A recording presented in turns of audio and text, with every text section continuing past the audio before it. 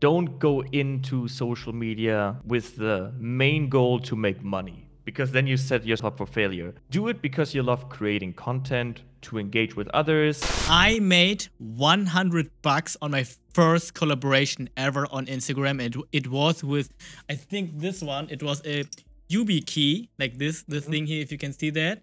And it was like three years ago or so. And I was like, man, somebody is paying me 100 bucks for some videos, right? And I was like, yeah. I was amazed. And this is why I believed in social media so much.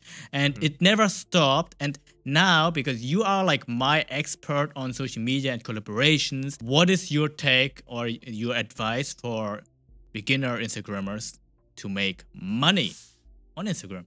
So the first thing is don't go into social media with the main goal to make money because then you set yourself self up for failure. Do it because you love creating content to engage with others or you know, if you like phot- photography, videography, whatever, it doesn't matter. Just be passionate about what you're doing on social media.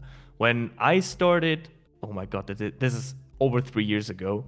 Um, I did it because I needed a creative vent for what I, you know, because I, I couldn't put my photography anywhere. And I was passionate about tech, passionate about photography. So I put it on Instagram.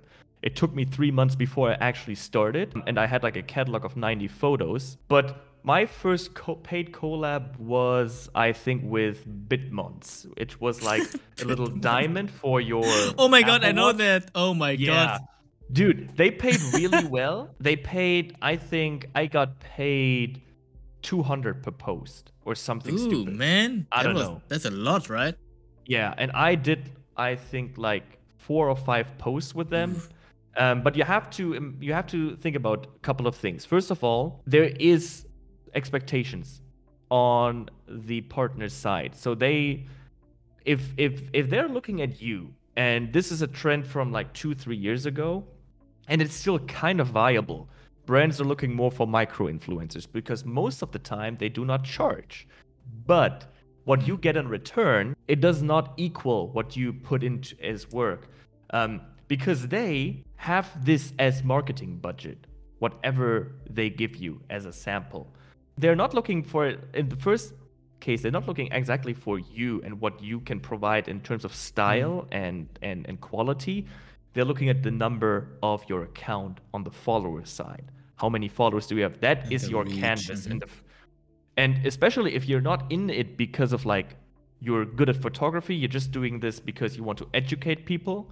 And it's not about the quality of the photography, but the value of the caption or the value of what you bring across to your audience then you're very limited on making money in multiple ways. But if you're good at photography, and this is how I started with this, I offered brands not only, oh, I can post this on Instagram, but I can also provide you photography that you can use on the commercial side if it's good, if you like it. So in the beginning, before you really make money, and you not, don't want to make money one time, it shouldn't be a one off thing.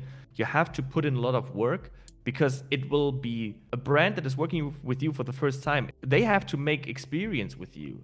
If hmm. everything mm. works well, if you're reliable, if you can provide the content, if you can hold deadlines. Especially if to, it's a big brand, right?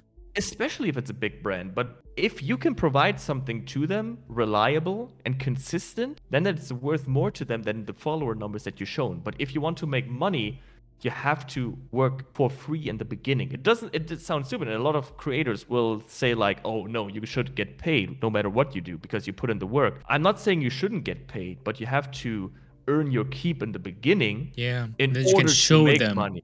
Yes, you have to build like a brand reputation you can show on social media and you, you have to something to show on your virtual social media CV to say, "Hey, I worked with brand XYZ and, you know, I worked with them on these campaigns. Yeah, like your highlights whatever. on Instagram, right? That's why exactly. this is like a yeah. great example. Yeah. Yeah.